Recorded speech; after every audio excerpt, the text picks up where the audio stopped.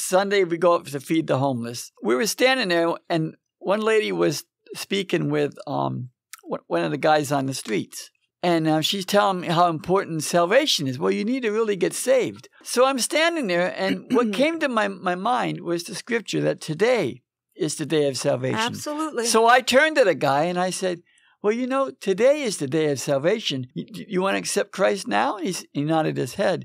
So we prayed. He asked Jesus into his heart, and he prayed and got saved. Now, Yeah. another man on the street, he got shot at twice this week. He goes, Hey, do you have a promise to help me? And I said, Yes. And, and I gave him um, Psalms 91:10. If you're on the street getting shot at, you know, you don't have time to think about the whole thing. You just need one quick thing. God, you said you give your angels charge over me. That's what he needs. It's the word of God. It is. And it really works.